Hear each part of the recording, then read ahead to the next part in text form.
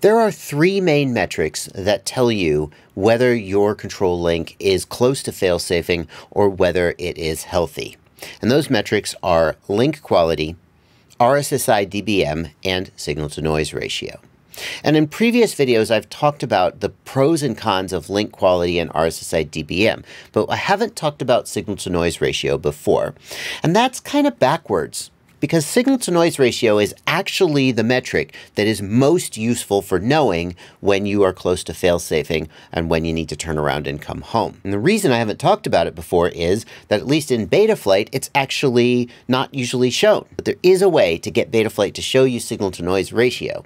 And today I'm going to show you what that way is, and I'm going to discuss why signal to noise ratio is in some ways the best way of knowing when you're about to fail safe. I'm Joshua Bardwell, and you're going to learn something today.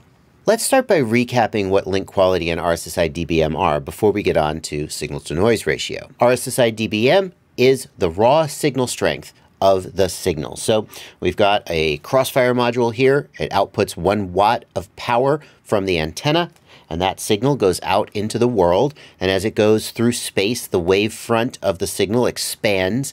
And as it expands, uh, the, the energy density in any given unit of space reduces and basically the signal gets weaker as it travels through space.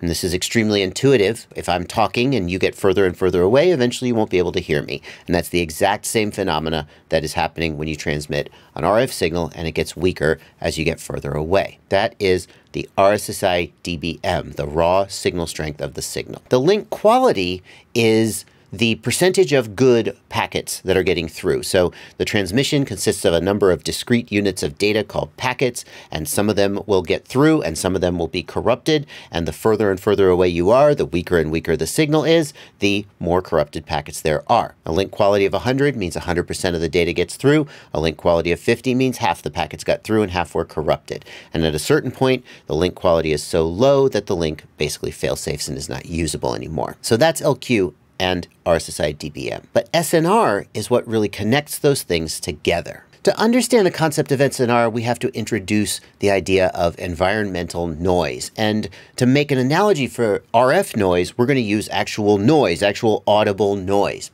Imagine that you and I are in a quiet room and I'm trying to tell you something and I'm, I'm talking at a low volume even though my RSSI dBm is low, you can still hear what I'm saying and understand it perfectly well. Now imagine that we did the same thing, but we were in a crowded dance club or a, a, a loud rock concert or something.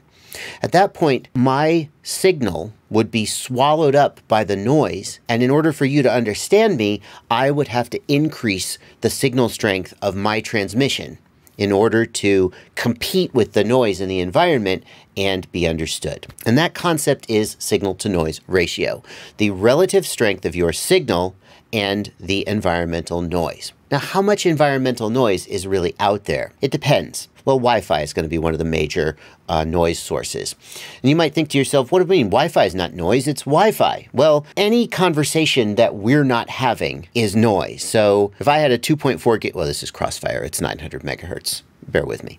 If I had a 2.4 gigahertz Express LRS module, to the Wi-Fi communicator, I'm the noise, and to me, the Wi-Fi is the noise. The other guy is always the noise. So in, in the country where there's very little Wi-Fi, very little transmissions, we might have a very low noise level. In a, an urban environment where there's 50 bajillion Wi-Fi routers in a single city block, there might be a very high noise level.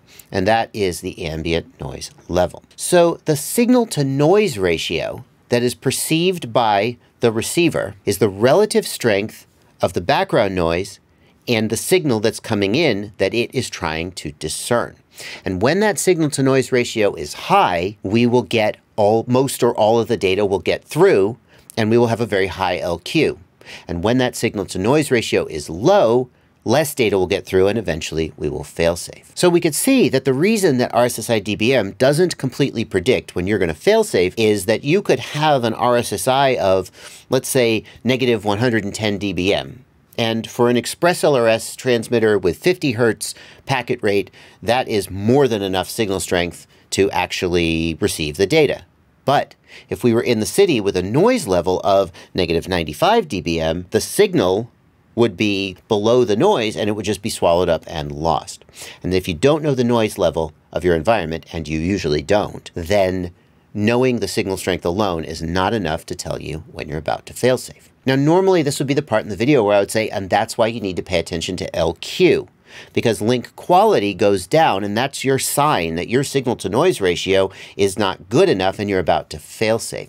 But wouldn't it be nice if we could just see the signal to noise ratio like manually. We just know what it is. Now, it turns out that modern control links like Crossfire Tracer, ExpressLRS, and Ghost do measure signal to noise ratio and report it in their telemetry. So here's a telemetry screen for a Crossfire receiver. And if I scroll down, here is RSNR. That's the signal to noise ratio that the receiver is seeing. But having it in telemetry is one thing. I suppose you could do an audio alert so that if the signal to noise ratio goes below a certain value, you get an alert. But most of us would like to have it in our on-screen display.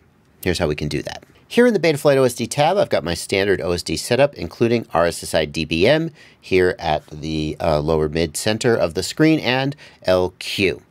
Now, there isn't any SNR value here that we can actually turn on. Unfortunately, the Betaflight devs haven't added it. I don't know why they haven't added it. It just seems like it would make sense to just have click SNR here. In fact, maybe once they see this video, they'll go, oh yeah, we'll, we could do that. That's easy. And then this video will be somewhat obsolete. That would be fantastic.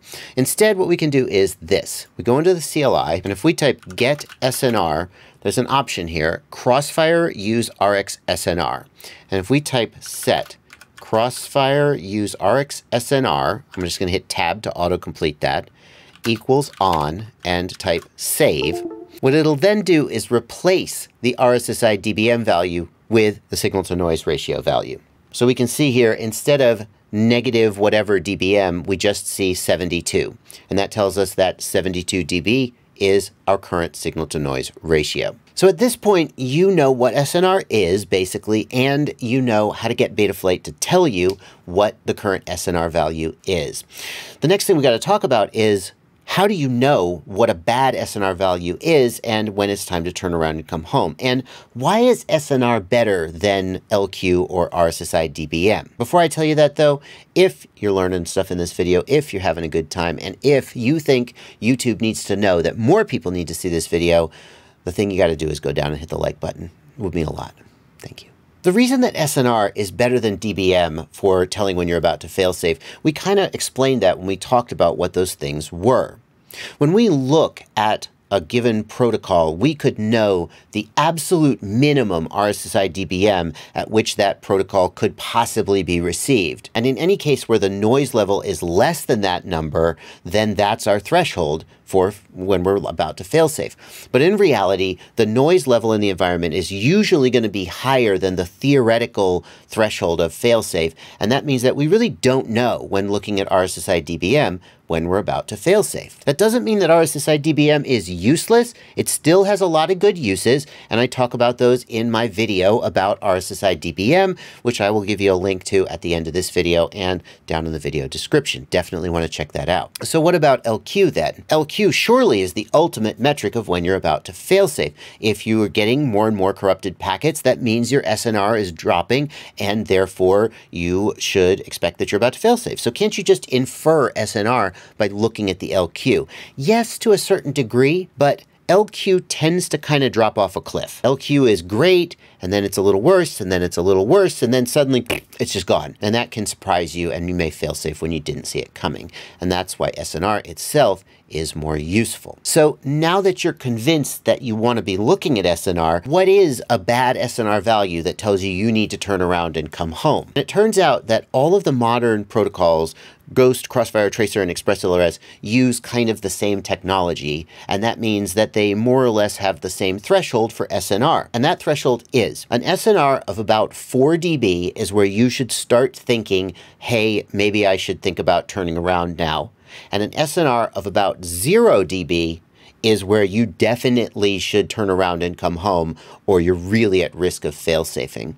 It doesn't mean that you absolutely will fail-safe at 0 dB, but you are seriously at risk of it, of it going away. As long as you stay above about 4 dB, you should be pretty solid. And it would be interesting to think about the mapping of LQ versus SNR. Maybe that's something you could do by looking at your DVR after your flights. Like, how much of an SNR do you need to have an LQ of 90%?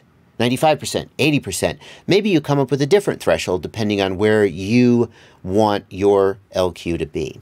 But the takeaway is that SNR is going to degrade in a more predictable way than LQ, unless the environmental noise spikes suddenly, and then it'll drop suddenly, but there's not really anything you can do about that, I suppose. The one thing about this that really bugs me is that there's currently no way to get both RSSI DBM and SNR on the screen at the same time, at least not within Betaflight. Worth mentioning that the Brain FPV Radix flight controller has its own built-in Crossfire on-screen display widget, and it can display those at the same time. The TBS Unify Evo video transmitter with its own built-in OSD can display them at the same time, but Betaflight can't, and that's what probably what most people are going to be running. So I hope that the Betaflight devs see this video and fix this, because there are times when RSSI DBM is useful. In fact, I put out a video talking all about RSSI DBM. I'll put a card on screen linking to that, as well as a card on screen talking about LQ And what a good arc LQ threshold should be, or maybe there shouldn't even be one.